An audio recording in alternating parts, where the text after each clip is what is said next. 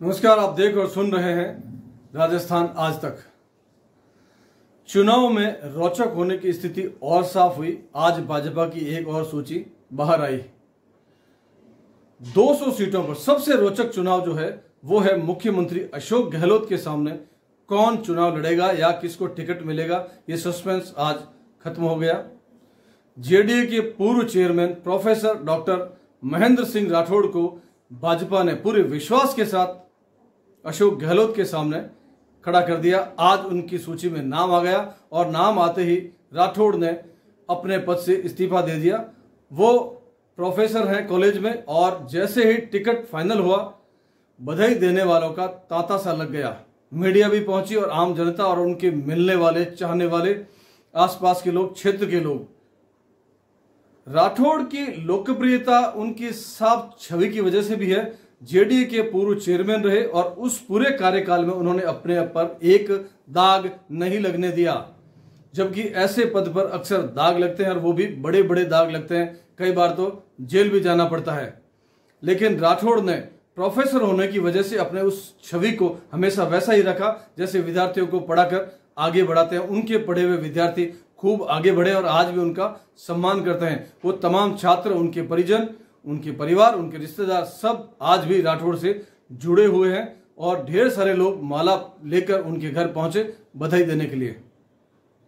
राठौड़ ने अपने हर वक्तव्य में, इंटरव्यू में जब भी मीडिया का माइक सामने आया, उन्होंने यही कहा, गहलोत के सामने चुनाव लड़ना है तो मैं पूरे खम के साथ उतरा हूँ और जीत कर दिखाऊँगा।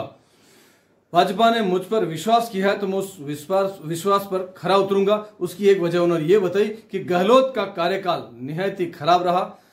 इस पूरे कार्यकाल में, पूरे पाँच साल में गहलोत ने सरकार चलाई नहीं, केवल बचाई है और उसमें भी समस्या रही कि बलात्कार, डकैती, हत्याएँ, लूट जमकर हुई।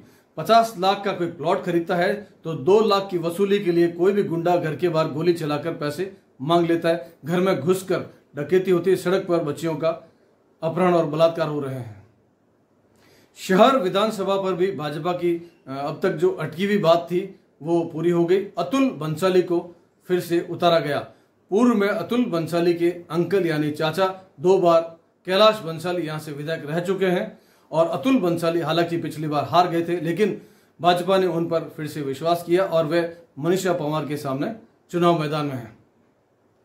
मनीषा पवार को पार्षद के बाद विधायक का अनुभव रहा और अतुल बंसाली को अपने चाचा का दो साल, दो बार कार्यकाल संभालने का अनुभव रहा, यानी विधायक का कार्यकाल उन्हें भी पता है काम कैसे होता है और मनीषा पवार को भी।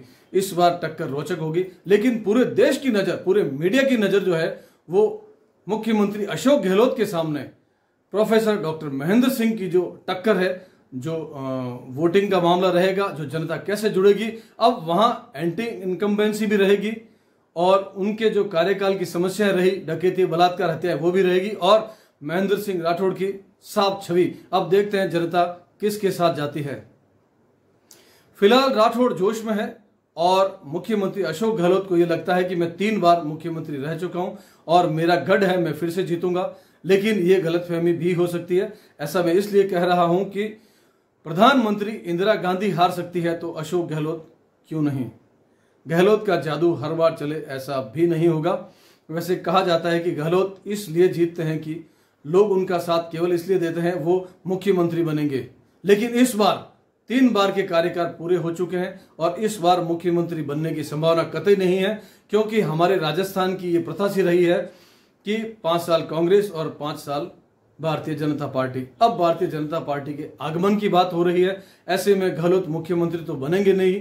इसलिए जनता को लगता है कि इस बार उनको जिताकर भी क्या कर लेंगे। वो शायद हो सकता है कि कुछ नया करने के लिए प्रोफेसर राठौड़ के साथ चले जाएँ और राठौड़ जीत कर परचम लहरा दे। और मीडिया के सामने एक उदाहरण पेश करे कि मीडिया ऐसा कहे, वाह, क्या बात है, जैसे कहते हैं, वाह, ताज। राठौड़ अपनी साफ़ छवि और रिश्तों को लेकर उतर रहे हैं और गहलोत अपने मुख्यमंत्री पद को लेकर।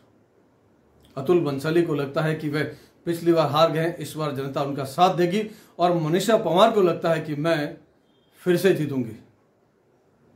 मुकाबला कमाल होगा, रोचक, लेकिन सूर सागर की सीट अभी भी अधर झूल में है। कांग्रेस ने अभी भी अपना व्यक्ति उतारा नहीं है। ऐसा क्यों? क्या उनके पास अनुभवी या अच्छे नेताओं की कमी पड़ गई है या उनको किसी पर विश्वास नहीं है? अब मुस्लिम या हिंदू, और हिंदू में भी पुष्कना ब्राह्मण या कोई और। चर्चाएँ लगातार हो रही है, चाहे चाय की थड़ी हो या घर में, ऑफ़िस हो या सड़क पर, बस में हो या कार में। जो जहाँ लोग मिलते हैं, बात करते हैं कि सूर सागर का क्या होगा। कांग्रेस इतना डरी हुई क्यों? खैर, जो भी है, हम कल फिर मिलेंगे। तब तक के लिए नमस्कार, जय हिंद, जय भारत।